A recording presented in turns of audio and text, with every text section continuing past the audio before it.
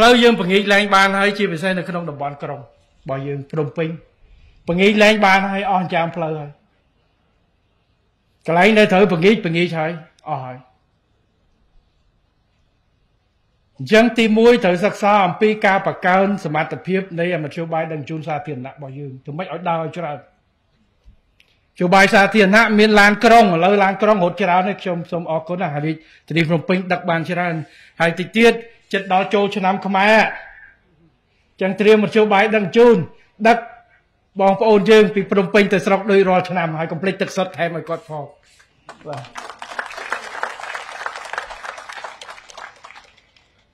ទី2មធ្យោបាយដឹកជញ្ជូននេះដូចខ្ញុំនិយាយប្រហែលជាត្រូវគិតគូររឿងផ្លូវក្រវ៉ាត់ក្រុងមួយចំនួនឥឡូវយើងធ្វើឲ្យផ្លូវក្រវ៉ាត់ក្រុងដើម្បីជៀសចរាចរណ៍ ហើយអាចថ្ងៃក្រោយមានអាតេះភ្លើងលើអាកាសស្អីភ្លើងអាកាសខ្ញុំអាចអានឹងឈានវិវត្តព្រោះទីទៀតដីក្រវ៉ាត់ក្រុងវាលែងក្រវ៉ាត់ក្រុងវាទៅជាកណ្ដាលដែរហើយពេលហ្នឹងលែងមានដីទៀតហើយមានតែលើអាកាសទៀតនៅស្របទៅទី3គឺមធ្យោបាយក្រោមដីហើយអាតេះភ្លើងកម្រិតស្រាលឥឡូវយើងកំពុងសិក្សាអាតេះភ្លើងពីពលានហោះនេះទៅភ្នំពេញតិចទៀតផ្លូវ60ម៉ែត្រនេះក៏មិនគ្រាន់ដែរនឹងស្ទះហើយ ពេលដែលកន្លែងនេះរីកខ្លាំងខេត្តកដារីកខ្លាំងពលានហោះទៅហើយធំចឹងអាផ្លូវដែលយើងកាត់តាមណាហើយទី2សិក្សាក្រោមដីព្រោះឥឡូវលើដីលើដីអស់ហើយលើអាកាសទៀតឥ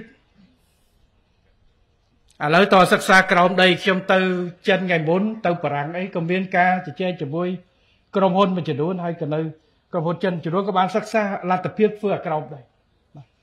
ហើយសុក នៅក្រោមដីយើងមិនមែនធ្វើតែផ្លូវទេ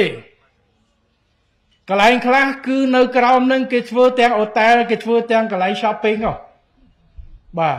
នៅខាងលើសួនច្បារសាធារណៈដែលចុះទៅក្រោមមានកន្លែងចតឡាននៅទៅហូឡានអត់ឃើញទេស្រុកខ្មែរយើងឥឡូវពិបាកជាងគេចតឡាន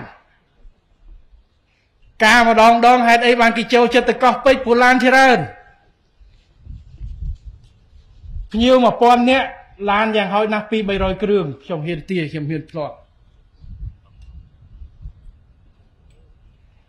អញ្ចឹងកន្លែងប្រជុំអីមួយមួយអញ្ចឹងថ្ងៃក្រោយសិក្សាឥឡូវមានសិក្សាខ្លះហើយនឹងភ្ជាប់ជាមួយអញ្ចឹងមិនដល់ប្រើអស់លទ្ធភាពតែម្ដងព្រោះដូចខ្ញុំនិយាយប្រជាជនកាន់តែកើនជីវភាពរស់នៅកាន់តែសម្បូរបែបមធ្យោបាយកាន់តែមានច្រើនយើងគ្មានជំរឿសលើកទីក្រុមទៅណាគេបាទ នៅកន្លែងហ្នឹងគឺជាកន្លែងដែលយុទ្ធសាស្ត្រហើយទលេចក្រមុខ4មុខរបស់យើងរីកទៅខាងកើតខាងត្បូងខាងជើង តែនៅកដាលនេះគឺត្រូវតែរកវិធីដោះ